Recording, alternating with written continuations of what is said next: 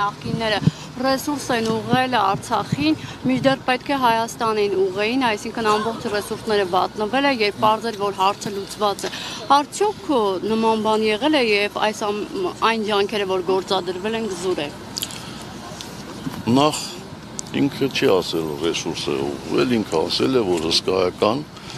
թե, չգիտեմ, առուծի բաժինը ռեսուրսներին ենտեղ է ուղղել, ինչ որ սուտ է բացարձակապես։ Սուտ է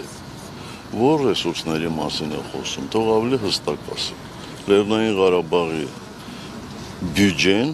ձևավորվում էր ինչպես իրենց ներքին հարկերի հավաքումից, այլ միջոցներից, այնպես էլ Հայաստանից տրվող վարկով, որը հստակ տոկոսը չեմ ուզում ասել, որը կազմում էր մեր բյուջեի միզեր, միզեր մասը փոքր մասը, չնչին մասը։ Այո, ես չեմ բացառում, որ այնտեղ նաև լրացուցիչ ծախսեր են եղել,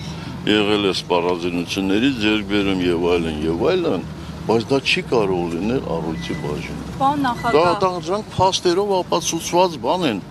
Շատ ակնհայտ է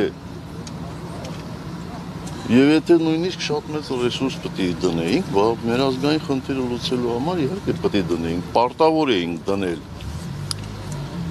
Բա ով էր հենց այնպես առանց որևէ բանի տալու մեզ։ Շնորհավոր ամանոր եւ սուրբ ծնունդ։ Սիրով ձեր Media Hub